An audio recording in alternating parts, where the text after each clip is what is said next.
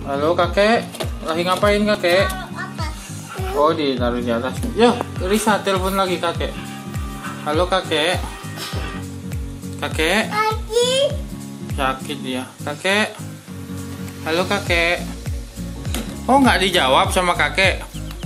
Ah, ditelepon sama kakak. Eh, penakut. Adik mau telepon sama kakek. Iya.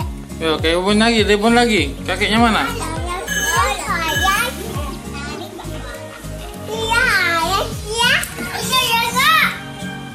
Ada nggak kakeknya?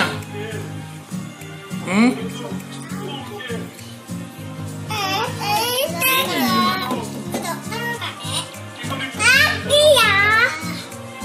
Kakeknya bicara apa kak?